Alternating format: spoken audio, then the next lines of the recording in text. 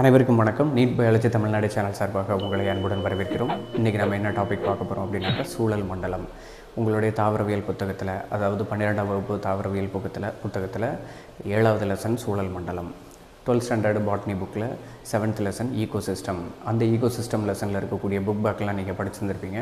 அது போக எக்ஸ்ட்ராவாக ஒரு முப்பத்தொரு கொஷின் நம்ம வந்து பேசிக்கிட்டு இருக்கிறோம். அதில் முதல் மூணு கொஷின் வந்து நம்ம இதுக்கு முன்னாடி ஒரு வீடியோவில் பார்க்குறோம்.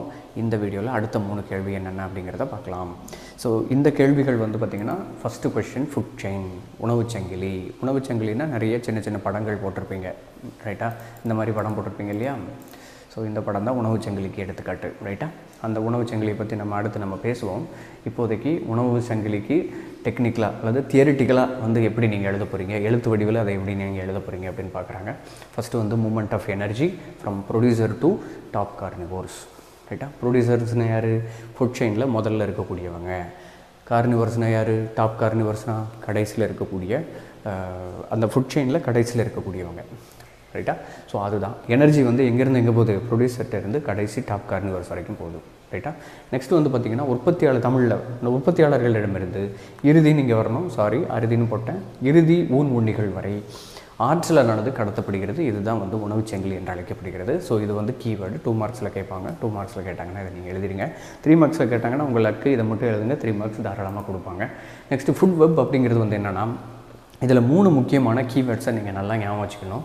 ஒன்று வந்து இன்டர்லாக்கிங் பர்டன் ரைட்டா ரெண்டாவது நம்பர் ஆஃப் ஃபுட் செயின் மூணாவது வெப் லைக் ஸ்ட்ரக்சர் ரைட்டா அதாவது நிறைய ஃபுட் செயின் சேர்ந்து இன்டர்லாக்கிங் பேட்டர்னுக்குள்ளே போய் வெப் லைக் ஸ்ட்ரக்சராக உங்களுக்கு காமிக்குது. அவ்வளோதான் காணப்படுகிறதுன்னு போடுங்களேன் ரைட்டா ஸோ இதை தமிழில் நீங்கள் எழுதுறீங்க அப்படின்ற பட்சத்தில் உணவுச் சங்கிலிகள் ஒன்றோடு ஒன்று பின்னி பிணைந்து அமைந்திருப்பது உணவு வலை ஆகும்.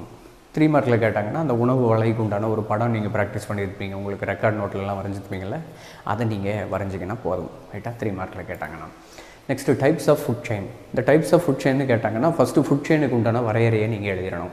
கொஞ்சம் நேரத்துக்கு முன்னாடி தான் பார்த்தோம். அந்த வரையறையை நீங்கள் எழுதிருவீங்க. தமிழ்லையும் அதுக்குண்டான வரையறைங்க வரையறை இங்கே நான் கொடுத்துருக்கிறேன். டைப்ஸ் போடும்போது வந்து பார்த்தீங்கன்னா grassland and detritus type of food chain அப்படின்னு சொல்லிட்டு ரெண்டு டைப் எழுதிடணும். கிராஸ்லேண்டுக்கு தமிழில் வந்து பார்த்தீங்கன்னா மேய்ச்சல் உணவு செங்கிலி டெட்ரிட்டஸ்க்கு வந்து பார்த்தீங்கன்னா மட்குப்பொருள் உணவு செங்கிலி. ஃபர்ஸ்ட் ஆஃப் ஆல் இந்த grassland eco system sorry grassland food chain வந்து எப்படி இருக்குது அப்படிங்கிறத பார்க்கலாம். ஃபர்ஸ்ட் ஆஃப் ஆல் இந்த படம் பார்த்து கதை சொல்ல நீங்கள் கற்றுக்கணும் இந்த ஃபஸ்ட்டு வந்து இந்த படத்தை வச்சு நான் கதை சொல்கிறேன் பாருங்கள் ஃபஸ்ட்டு வந்து ஒன்று ரெண்டு மூணு நாலு.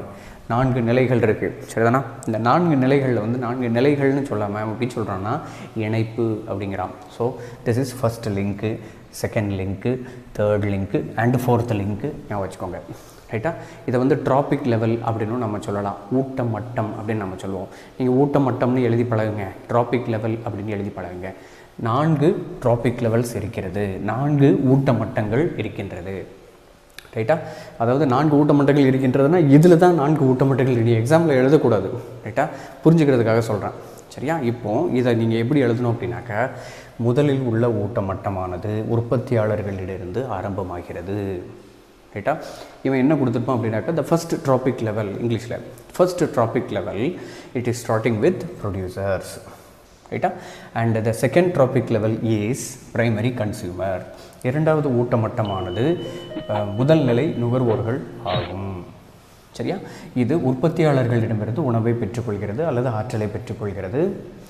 இங்கிலீஷில் சொல்கிறதா இருந்ததுன்னா இந்த இரண்டாம் நிலை ஊட்டமட்டம் that is the second trophic level is getting the energy from the producers ரைட்டா அதே மாதிரி தேர்டு தேர்டு வந்து பார்த்தீங்க அப்படின்னா third trophic level it consisting of secondary consumers example snake அப்படின்னு போட்டிருந்தோம்.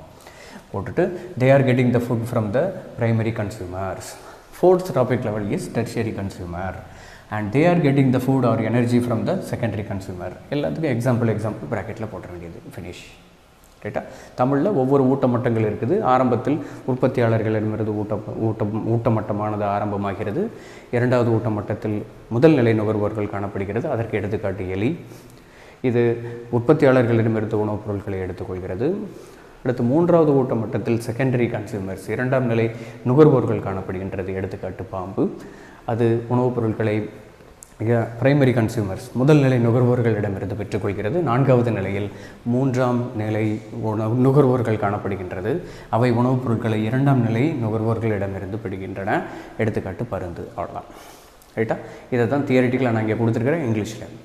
எல்லாத்தையும் நீங்கள் எழுதுறதுக்கு முன்னாடி first sun is the source of எனர்ஜின்னு நீங்கள் நோட் பண்ணிக்கிறணும் ரைட்டா இதுதான் ஃபஸ்ட்டு நீங்கள் எழுத வேண்டியது. சரியா? இது ஃபுல்லாக இங்கிலீஷில். இந்த வீடியோ பாஸ் பண்ணிவிட்டு இதை ஃபுல்லாக அப்படியே நோட்ஸ் எடுத்துக்கோங்க. ரைட்டா எழுதி படிங்க. ரைட்டா ஸ்க்ரீன்ஷாட் எடுத்து அப்படியே பைக்கில் வச்சுக்கிட்டு அப்படி போயிடும் ரைட்டா நீங்கள் ஒரு நோட்டும் பெண்ணும் வச்சுக்கிட்டு எழுதிட்டு இருந்தீங்க அப்படின்னா ரொம்ப ரொம்ப யூஸ்ஃபுல்லாக இருக்கும். இதுக்கு தமிழில் எப்படி இருக்கும் அப்படிங்கிறத இப்போ பார்க்கலாம். சூரியனே முதன்மை ஆற்றல் மூலம். ரைட்டா இப்போ நான் சொன்னதை அப்படியே இங்கே போட்டிருக்கான். நான் வந்து ஊட்ட மட்டம்னு சொல்லியிருப்பேன். அதுக்கு பதிலாக இவன் இணைப்புன்னு போட்டிருப்பாப்ப ரைட்டா ஸோ முதல் இணைப்பானது உற்பத்தியாளர்களிடமிருந்து ஆரம்பி ஆரம்பமாகிறது. இரண்டாவது இணைப்பு மூன்றாவது இணைப்பு நான்காவது இணைப்பு அப்படின்னு போட்டிருக்காங்க. ரைட்டா ஸோ இங்கே வந்து பார்த்தீங்கன்னா லிங்க்னு போட்டிருப்பாங்க.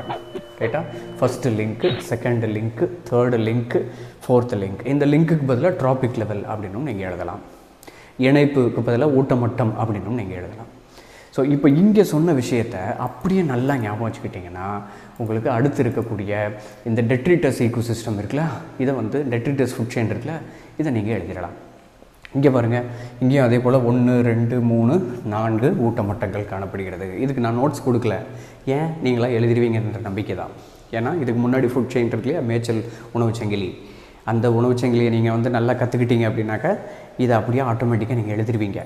ரைட்டா இப்போ நான் சொல்கிறேன் பாருங்கள் ஃபஸ்ட்டு இங்கே என்ன எழுதுவீங்க? முதல் நிலை ஊட்டமட்டமானது. உற்பத்தியாளர்களிடமிருந்து ஸ்டார்ட் ஆகிறது ஆரம்பமாகிறது. இந்த உற்பத்தியாளர்கள் வந்து பார்த்திங்க அப்படின்னா தமிழில் என்னது? மட்கு பொருட்கள் ஆகும். ரைட்டா இந்த உற்பத்தியாளர்கள் அதில் வந்து சூரியன் தான் வந்து முதல் நிலை சூரியன் தான் வந்து ஆற்றல் மூலம் அப்படின்னு நம்ம போட்டிருந்தோம். ஆனால் இங்கே வந்து மட்கு பொருட்கள் தான் வந்து ஆற்றல் மூலங்கள் அப்படின்னு சொல்லிட்டு நீங்கள் மைண்டில் வச்சுக்கிறணும். ரைட்டா ஸோ இது வந்து நெக்ஸ்ட்டு இரண்டாம் நிலை இரண்டாவது இணைப்பு அல்லது இரண்டாவது ஊட்டமட்டம் அல்லது second link second link is detritivores example earthworm இரண்டாவது இணைப்பானது மட்குண்ணிகள் ஆகும். எடுத்துக்காட்டு மண்புழு. ரைட்டா இந்த செகண்ட் uh, லிங்க்கில் இருக்கக்கூடியது வந்து ஃபஸ்ட்டு லிங்க்கில் இருக்கிற டெட்ரிட்டஸ் ஸ்ட்ரக்சர் அதாவது ஃபாலன் லீவ்ஸ் இருக்கு இல்லையா உதிர்ந்த இலைகள் அதிலிருந்து உணவுப் பொருட்களை பெற்றுக்கொள்கிறது. They are getting the energy from the first level of trophic level ரைட்டா நெக்ஸ்ட்டு தேர்ட் ட்ராபிக் லெவல் அப்படிங்கிறது வந்து செகண்ட் ட்ராபிக் லெவல்லேருந்து ஃபுட்டை எடுத்துக்குது அல்லது எனர்ஜியை எடுத்துக்குது. So second trophic level sorry third trophic level அப்படிங்கிறதுக்கு எக்ஸாம்பிள் பிளாக் பேர்டு இங்கே வந்து கருப்பு பறவை. ரைட்டா இங்கே வந்து கருப்பு பறவையானது மண்புழுவிலிருந்து அல்லது இதை இப்படி தான் எழுதணும் நீங்கள் சிறிய ஊன் உண்ணிகளானது மட்கொண்டிகளிடமிருந்து ஆற்றலை பெற்றுக்கொள்கிறது. ரைட்டா மூன்றாவது ஊட்டமட்டத்தில் இருக்கக்கூடிய சிறிய ஊன் உண்ணிகளானது இரண்டாவது ஊட்டமட்டத்தில் உள்ள மட்குண்ணிகளிடமிருந்து உணவுப் பொருட்களை அல்லது ஆற்றலை பெற்றுக்கொள்கிறது. ரைட்டா அதே மாதிரி நான்காவது ஊட்டமட்டத்தில் உச்ச ஊன் உண்ணிகள் காணப்படுகிறது. எடுத்துக்காட்டு பருந்து. ரைட்டா அவை இரண்டு மூன்றாவது ஊட்டமட்டத்தில் இருக்கக்கூடிய சிறிய ஊன்முன்னிகளிடமிருந்து உணவினை பெற்றுக்கொள்கிறது அல்லது ஆற்றலை பெற்றுக்கொள்கிறது. அவ்வளோதான் ரைட்டா இங்கிலீஷில் சொல்கிறதா இருந்துச்சுன்னா இது வரைக்கும் நம்ம இங்கிலீஷில் சொன்னோம். Third trophic level it consisting of small carnivores example black bird and they are getting the energy from the detritivores that will be present in the second trophic level or second link அப்படின்னு கொடுப்பாங்க next fourth trophic level is top carnivores example hawk. They are getting from getting food from the third trophic level. Small carnivores example blackbird அவ்வளோதான் so இப்படி எழுதுனீங்க அப்படின்னாக்கா உங்களுக்கு detritus ஈகோசிஸ்டத்துக்கு உண்டான explanation முடிஞ்சிச்சு. சும்மா மனப்படம் பண்ணிக்கிட்டு இருக்காதீங்க. இந்த படத்தெல்லாம் பார்த்து இந்த படத்தை எக்ஸ்பிளைன் பண்ணுங்கள் போதும். படத்தை பார்த்து அழகாக நீங்கள் எழுதிடலாம். படத்தில் வந்து பார்த்திங்கன்னா இதெல்லாம் நீங்கள் வரையணுமா சார்னா வரையவே தேவையில்லை. கேட்டால் இதை மட்டும் போட்டு விட்ருங்க நல்லா பெருசாக அழகாக பாக்ஸ் போட்டு சூப்பராக எழுதுங்க. ப்ரெசன்டேஷன் ரொம்ப ரொம்ப முக்கியம். அதே மாதிரி இதுக்கு முன்னாடி நம்ம பார்த்தோம்ல இந்த இது இது வந்து பார்த்திங்கன்னா மேய்ச்சல் உணவு சங்கிலி. இதில் பாருங்கள் நான் இதை தான் போட்டிருக்கேன். அழகாக இந்த மாதிரி எழுதி ஒரு கொஞ்சம் ஒரு ரெண்டு மூணு லைனுக்கு கேப் விட்டு அந்த கேப்பில் அழகாக வந்து ஷேடு பண்ணி சூப்பராக எழுதி விடுங்க பார்ப்போம். ஒரு பாக்ஸ் போட்டு அழகாக நீங்கள் எழுதலாம். ரைட்டா அந்த மாதிரிலாம் வந்து டெக்கரேஷன் பண்ணுங்கள் அதுக்கெலாம் டைம் இருக்கும் கண்டிப்பாக ரைட்டாக நீங்கள் சொந்தமாக எழுதுனீங்கன்னா மனப்பாடம் பண்ணி எழுதுனீங்க அப்படின்னாக்கா உங்களுக்கு டைம் பத்தாது பயாலஜி எக்ஸாமுக்கு சரியா? அப்போ இந்த வீடியோவில் பார்த்த மூன்று வீடியோ மூன்று கொஷினும் உங்களுக்கு ரொம்ப ரொம்ப பிரயோஜனமாக இருக்கும் அப்படின்னு நான் நம்புகிறேன் மேலும் பல தகவல்களை தெரிந்து கொள்வதற்கு நீட் பயாலஜி தமிழ் நடை சேனலை சப்ஸ்கிரைப் பண்ணுங்கள் நன்றி வணக்கம். பலருக்கு சேவை செஞ்ச நீயும் ஒரு ஹீரோடா. ஒரு கைப்பிடி சோறானாலும் ஷேர் செஞ்சு பாருடா.